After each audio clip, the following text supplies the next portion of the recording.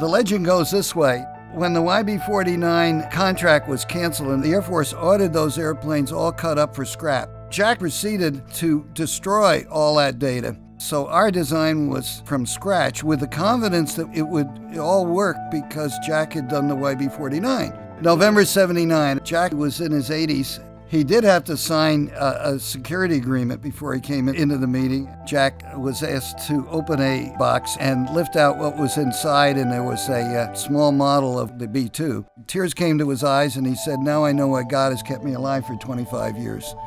He immediately started to ask uh, technical questions, the wingspan and the lift to drag ratio and uh, the wing loading and all of these aerodynamic numbers. As my co-designer, Irv Waaland, would tell him what our answers were, he would then remember immediately what it was for the YB-49.